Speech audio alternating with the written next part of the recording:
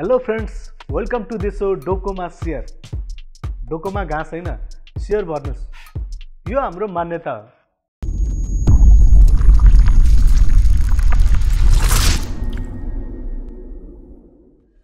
पच्चिस ट्रिलियन डलरको मूल्यवान एप्पलले बजार पुँजीकरणमा विश्वको कर्पोरेसनहरूको नेतृत्व गर्दछ। विश्वव्यापी मन्दीपछि अमेरिकी टेक्नोलोजी क्षेत्र विस्फोट हुँदा माइक्रोसफ्टको प्रधानतालाई विश्वको सबैभन्दा मूल्यवान कम्पनीको सम्मानको लागि दुई नयाँ प्रतिद्वन्द्वीले चुनौती दिए। यस दौडमा वर्षौँदेखि गुगल र एप्पल कम्पनी थिए। पछि एमाजोन पनि यो लडाइँमा सामेल भयो।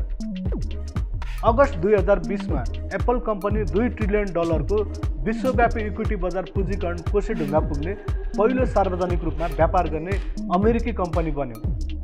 चाख लाग्दो कुरा के छ भने एप्पल पहिलो कम्पनी थियो जसले एक ट्रिलियनको अङ्क पार गर्यो। दुई वर्षको अवधिमा यसको मूल्य दोब्बर भयो। अमेरिकामा सार्वजनिक कम्पनीमा पहिलो ट्रिलियन पुँजी बनाउने कम्पनी एप्पल हो। हजुर सेयर सम्बन्धी रोचक जानकारी आजलाई यति नै। आगामी भिडियोमा अरू नयाँ टपिकमा हामी कुरा गर्नेछौँ भन्दै डोकोमा सेयरबाट म सबिर बिदा हुन्छु। हस्त नमस्ते।